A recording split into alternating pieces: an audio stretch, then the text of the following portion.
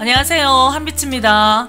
오늘은 제가 사는 구미시의 문화재를 소개할까 합니다. 바로 선산 삼강정녀입니다. 구미시 고아읍 봉안리에서 나온 충신, 효자, 열려를 기리려고 정조 19년에 세운 정녀각이랍니다. 선산에서 구미로 들어오는 봉한리 찾길 옆에 있습니다. 충신과 효자 그리고 열려를 기리는 만큼 앞면에 세 칸으로 정려각을 만들었습니다. 가운데에는 효자 배숙기를 기리는데 빗돌 대신에 위쪽에 정려 편액을 걸어 놓았습니다. 효자 홍문 저작 배숙기 지려라고 쓴 편액입니다. 배숙기라는 분은 홍문관 저작이라는 벼슬을 지냈는데 부모님을 매우 정성껏 봉양하고 자식의 도리를 다한 아주 효성스러운 분이었다고 합니다. 그분을 기리는 편액이 있습니다.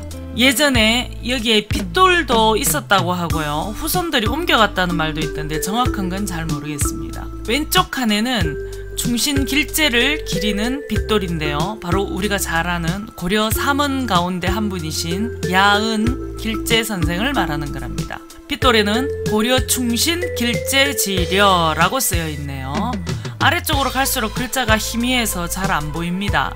야은 길재 선생은 고려 충신으로 조선이 들어설 때 두 임금을 섬기지 않는다는 불사이군의 충절로 이름난 분이시죠. 마지막으로 맨 오른쪽에는 열려, 약가를 기리는 빗돌이랍니다. 거친 자연석에다가 갓도 없는 비석인데 열려 조을생 처 약가정표라고 써 있습니다. 임진왜란 때 외적과 싸우다가 잡혀간 조을생의 아내인 약가는 남편을 기다리며 8년간 하루같이 수절을 했다고 합니다.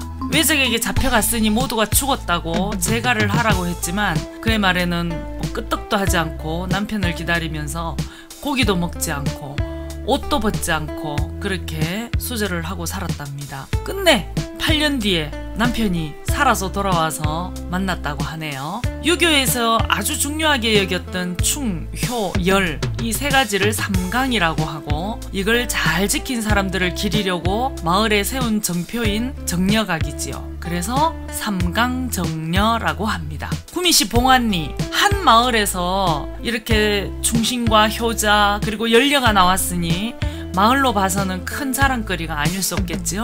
그래서 비슷한 시기에 나온 이 세 사람을 기리려고 당시 선산부사였던 이채가 삼강정려를 세웠다고 합니다. 삼강정려가 찾길 바로 옆에 있어서 잘 보일 듯 하지만 생각만큼 그렇지 않답니다. 마을 사람들도 정확하게 뭔지 모르는 이들도 많고요. 어쩌면 오늘날 조금씩 희미해져가는 충, 효, 열에 대한 관심만큼이나 멀어져 가는 건 아닌지 모르겠습니다. 가까이 있지만 사람들한테 관심이 멀어지는 게 저 혼자만 하는 걱정이기를 바랍니다. 그래도 이렇게 찾는 이들이 조금이라도 있을 테니까요. 오늘은 우리 구미시의 문화재 충신과 효자, 열려를 기리는 선산 삼강정려를 소개했습니다. 지금까지 한빛 문화재 여행TV의 한빛이었습니다. 구독과 좋아요는 사랑입니다. 복 받으실 거예요. 고맙습니다.